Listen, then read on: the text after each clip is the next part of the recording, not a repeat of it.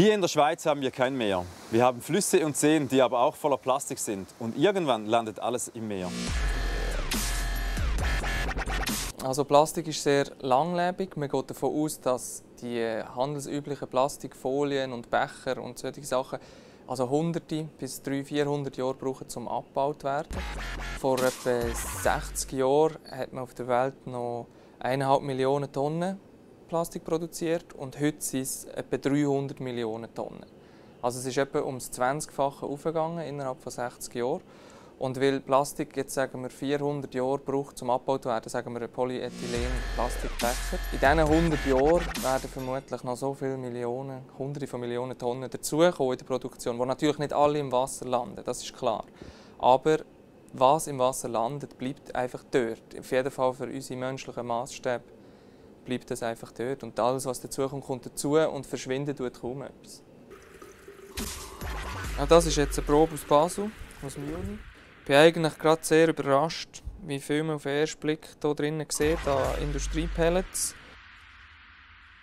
Aber dass es gerade am ersten bedeutenden Industriestandort am Rhein eigentlich schon gerade äh, relativ deutlich zu sehen ist, dass einiges drin ist, das ich jetzt alle nicht gedacht. Wir sind wie alle anderen Länder auch verantwortlich für die Weltmeere. Wir Schweizer haben einen miserablen ökologischen Fußabdruck. Wir verbrauchen 2,8 Planeten pro Jahr. Wo soll das nur hinführen? Die Schweiz exportiert Unmengen von Plastik. Firmen wie Nestle packen weltweit Wasser in Plastikflaschen ab. Ich will gar nicht wissen, wie viele von diesen Flaschen in den Weltmeeren landen.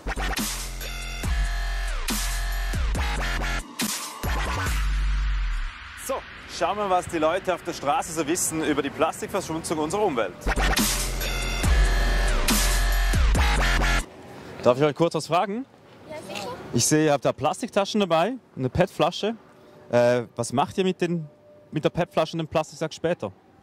Ähm, also PET-Flaschen äh, PET wir wahrscheinlich recyceln. Also ich tue meine PET-Flasche eigentlich immer recyceln. Und ähm, den Plastiksack, ich weiß nicht, also ich tue, ich tue wahrscheinlich einen Abfall. Was glaubt ihr, wie viel Plastik schwimmt auf unseren Weltmeeren? Ähm, vielleicht etwa 100 Tonnen.